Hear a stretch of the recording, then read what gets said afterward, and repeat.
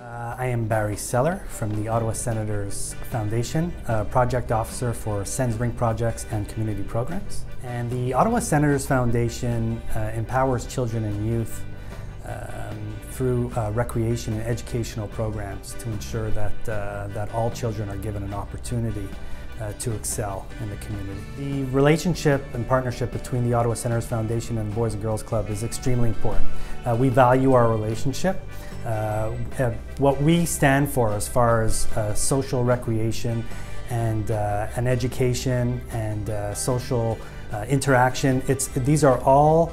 values that the Boys and Girls Club uh, cherishes as well. So anytime you go to the clubhouse and you see them, see the children working on their homework or uh, in the gym, uh, you know, doing some some sports and and interacting with other kids and the staff, and it's developing all these leadership qualities. That's something that the, the foundation is, is is all about, and so we're very proud to be connected with the Boys and Girls Club on that. The Senator Sports and Leadership League is a program that was uh, started in 2014, and uh, it's a program that uh, to you know, four years later, uh, has over 1,500 members uh, in 18 different communities throughout Ottawa. And it's, uh, once again, it breaks down those, those barriers that uh, kids don't have to worry about. It's, uh, it's a competitive league, so they get to experience that, uh, that competitive edge that they may be looking for, whether it's basketball, ball hockey, soccer. and then there's a program, Walk This Way, that allows kids the opportunity to experience Ottawa and the landmarks around, where they are at the same time outdoors walking to these landmarks uh, and learning. So it just combines everything uh, between social interaction, between recreation, and between education. So it's, it's a great fit for uh, both the Ottawa Senators Foundation and the Boys and Girls Club.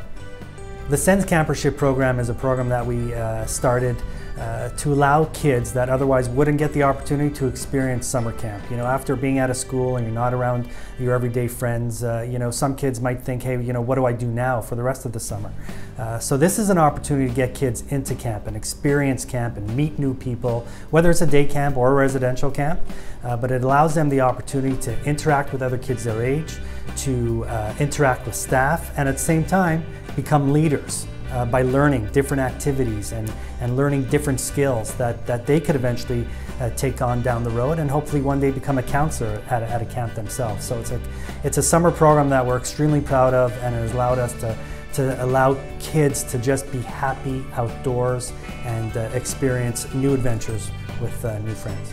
Boys and Girls Club is extremely important to the community. Uh, it, that's why the foundation is so proud to work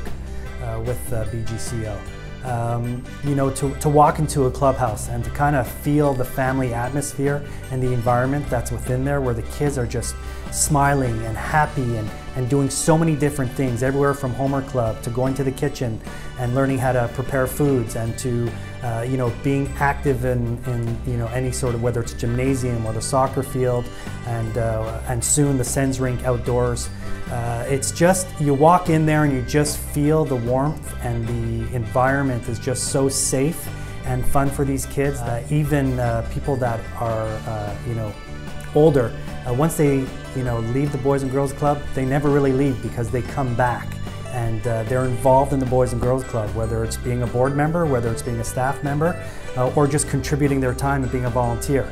there's something about being at the Boys and Girls Club where you, you never truly leave, uh, but you're outside making an impact and being a leader in the community as well. And those are all skills and characteristics that were developed within uh, the Boys and Girls Club.